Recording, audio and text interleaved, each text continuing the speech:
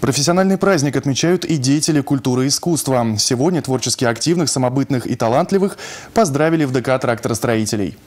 Праздник тех, кто дарит праздники другим. Музыканты и актеры, художники и хореографы, скульпторы и библиотекари. Они такие разные, но похожи в одном – таланте. Сегодня в сфере культуры республики работает больше шести тысяч человек. Это творческие, увлеченные, влюбленные в свое дело люди. И именно благодаря им открывается окно в большой мир под названием искусство. Наши театры с успехом гастролируют не только в России, но и за рубежом. Ежегодно Ежегодно открываются около 300 различных выставок, проходит более 40 спектаклей и различных по жанрам концертов. В районах Чувашии реставрируют и восстанавливают объекты культурного наследия. Модернизированы и оснащены современным оборудованием клубы и библиотеки. Только в прошлом году на развитие культуры из республиканского бюджета было направлено почти полтора миллиарда рублей. За добросовестный труд и многолетнюю службу театру, кино, печати, музеям лучшие работники культуры получили благодарственные письма и почетные грамоты.